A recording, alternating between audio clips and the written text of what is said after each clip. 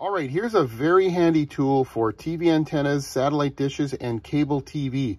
This is the Coax Explorer 2 made by Klein Tools, and it's a coaxial cable testing tool that lets you map out the coax in your home and also test it for open or short circuits.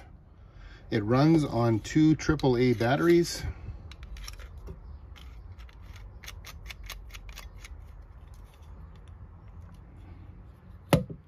This is a nice, easy tool to use to test the cable. Just going to remove these remote test leads from the onboard storage. We're going to use just one of them. We'll just set that one aside. It does come with a barrel adapter to connect it to one end of the coax cable. I'll do that first. Just twist that in there. Push the remote test lead on to one end of the cable like that. And the other end of the cable gets connected to the tester.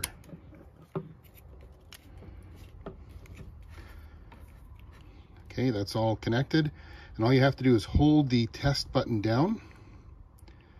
And we're getting an open reading here. So that means that somewhere along this run of cable, the center conductor inside the coax is probably broken. So this cable should be replaced. Same thing if you receive a short reading. That means that somewhere along the cable, the center conductor and the braided shielding are touching. This cable should also be replaced. And if your cable's working properly, you're going to get a pass light on the corresponding color-coded remote lead you have connected. I'll just show you here in real time that this tester does read all of these individually, which makes it really handy. There's the red. If you want to map out the cable run in your home, you can connect each of these little remote leads to the end of the cable in each room in your house, living room, bedroom, kitchen, wherever you have TVs, and then go down to the basement or wherever your splitter or amplifier is located.